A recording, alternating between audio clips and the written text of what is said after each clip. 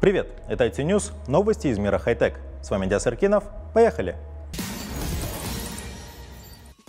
Компания Razer и Lexus представили геймерский кроссовер. Автомобиль был представлен создателем профессионального игрового оборудования и японским производителем премиальных авто в рамках одной из самых престижных премий в мире киберспорта eSports Awards 2023. Эта модель является модернизированной версией кроссовера Lexus TX. Для пассажиров в салоне на заднем ряду доступно два игровых ПК с монитором, клавиатурой и мышкой. Салон и внешняя часть авто отличаются переливающейся RGB-подсветкой на геймерский лад, а на дверях есть элементы с логотипами брендов. Lexus TX новинка 2024 года. Базовая версия отличается 2,4-литровым четырехцилиндровым двигателем с передним приводом. Стоимость в США от 55 тысяч долларов, а версия с полным приводом стоит на 1000 долларов дороже. Также есть гибридные комплектации стоимостью до 80 тысяч долларов с учетом всех опций.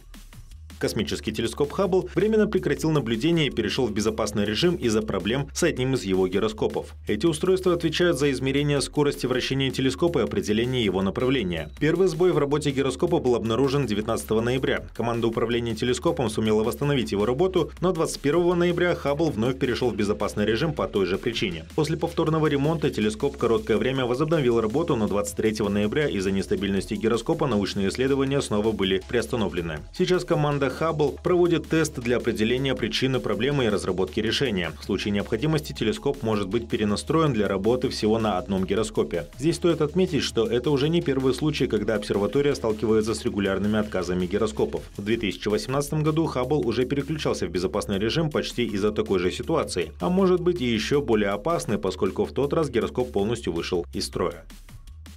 Компания OpenAI объявила о переносе запуска своего нового проекта – онлайн-магазина приложений для моделей с искусственным интеллектом. Это решение сообщили участникам тестирования инструмента GPT Builder, предназначенного для создания пользовательских версий популярного чат-бота ChatGPT. Согласно информации, предоставленной в электронном письме от OpenAI, запуск GPT Store теперь планируется на начало 2024 года, хотя первоначально планировалось открыть его в конце этого. В письме, копия которого была получена изданием The Verge, компания объяснила задержку несколькими неожиданными обстоятельствами, которые повлияли на график разработки проекта. Идея создания такого онлайн-магазина впервые появилась летом этого года. Магазин должен был предоставить клиентам возможность продавать свои модели искусственного интеллекта, настроенные под конкретные задачи. При этом для создания пользовательских версий ChatGPT не требовались бы особые знания в программировании благодаря специальным инструментам, упрощающим процесс разработки. Запуск маркетплейса OpenAI ожидается с большим интересом, так как он может значительно облегчить доступ к рынку технологий искусственного интеллекта для стартапов и малых компаний, конкурируя с крупными игроками в этой сфере.